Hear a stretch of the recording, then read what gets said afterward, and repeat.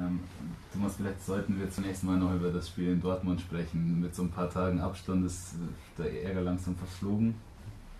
Ja, hilft ja nichts. Wir müssen uns ja aufs nächste Spiel konzentrieren. Und, ähm, dass das Ganze unglücklich war, äh, ist keine Frage. Es wurde jetzt auch lang und breit diskutiert.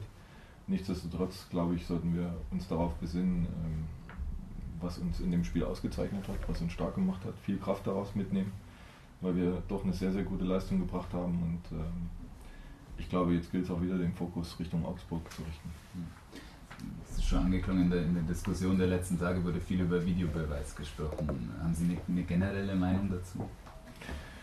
Ja, generell mit den technischen Möglichkeiten, die man heutzutage hat, ist das äh, sicherlich äh, ja, eine Idee, die man aufnehmen muss und wo man äh, drüber diskutieren muss. Ähm, ich war mal bei einer Veranstaltung dabei, da wurden auch ähm, Sachen gezeigt, wie das in Holland umgesetzt wird. Ähm, von daher gibt es da sicherlich auch gute Ansätze. Ähm, es hilft sicherlich ähm, in strittigen Situationen. Nur muss man natürlich auch aufpassen, dass man das Spiel nicht zerpfeift und, und kaputt macht und den Rhythmus des Spiels äh, bricht. Das wäre schlecht, aber alles, was möglich ist äh, an technischen Hilfsmitteln, sollte man schon einsetzen, wenn es äh, den Spielverlauf nicht äh, stört. Das Spiel am Samstag jetzt gegen Augsburg, ist das für dich ein Derby? Ist das für dich das Derby jetzt für den FC Ingolstadt? Es ist ein Derby.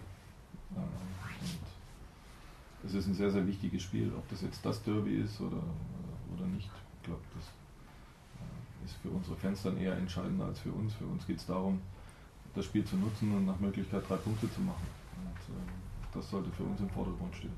Dass es wahrscheinlich eine sehr äh, gute Stimmung im Stadion geben wird, weil viele Auswärtsfans da sind, keine Frage, und das sollte aber eigentlich auch die Spieler beflügeln.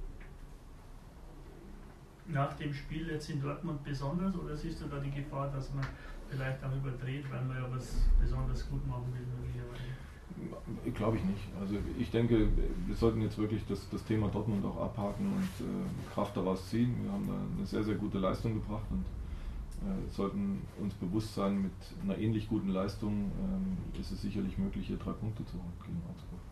Da braucht man nicht überdrehen, muss man nur gucken, dass man sein normales Niveau erreicht. Was würde es bedeuten, wenn äh, der FC Ingolstadt am Ende vor Augsburg steht? Also mir persönlich, in meiner Empfindung würde es die Wahrscheinlichkeit erhöhen, dass wir die Klasse halten.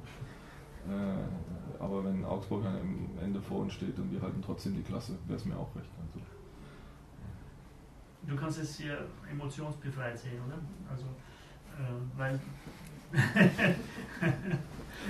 die Ingolstädter Fans, glaube ich, die sehen das Spiel äh, etwas emotionaler. Das glaube ich. Äh, deswegen habe ich ja äh, auch betont, dass es mit Sicherheit eine, eine sehr ordentliche Atmosphäre im Stadion äh, geben wird.